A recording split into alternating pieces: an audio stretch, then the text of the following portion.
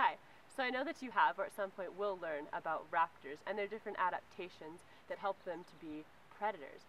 But today we're going to talk about other birds and their adaptations for them to lead the certain lifestyles that they have. An adaptation is a special characteristic or feature that an animal has that helps it to live, thrive, adapt, and survive in its environment.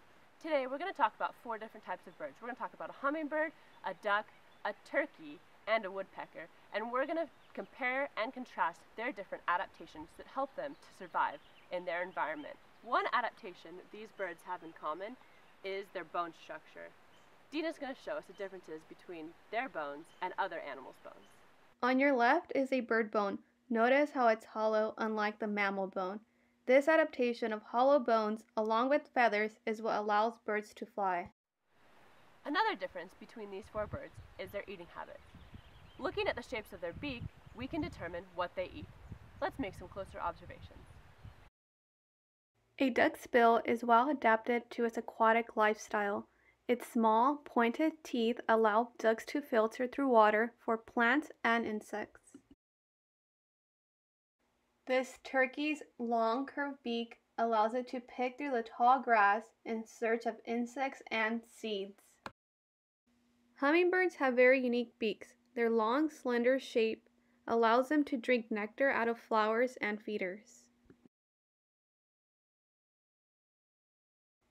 An acorn woodpecker's pointed beak and thick skull are perfectly adapted for drilling holes in trees.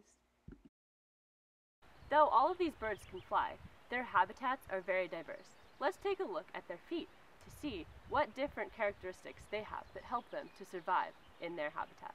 Ducks have webbed feet for swimming through the water. This adaptation allows them to move through aquatic habitats with little effort. Both woodpeckers and hummingbirds have small feet with sharp claws. This feature is useful when climbing trees and perching on branches. A turkey's foot is best suited for life on the ground. Its padded feet act like shoes, keeping them protected from sharp objects they might step on. Another feature that these birds have are their different colorations. Some birds use their different colors to camouflage, some use them to frighten off their predators, and some use them to attract a mate. Not only are adaptations physical characteristics, but animals like these birds also have behavioral adaptations in the ways that they interact with their environment and with each other. When feeling threatened by predators, hummingbirds will drink nectar mid-flight. Acorn woodpeckers live in social groups. With teamwork, woodpeckers are able to store enough food to survive harsh winters.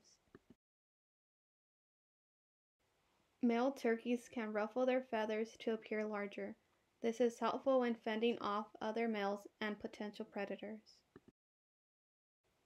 When searching for food in the water, ducks will dive headfirst while keeping their feet up. This is called dabbling. Now that you've learned about all kinds of adaptations, both physical and behavioral, we challenge you to, at home, create your own bird with at least four different adaptations that help it survive in its habitat. Here are some examples of birds that we have created. Make sure that when labeling your adaptations, you describe how it helps your bird to better survive in its environment. Have fun!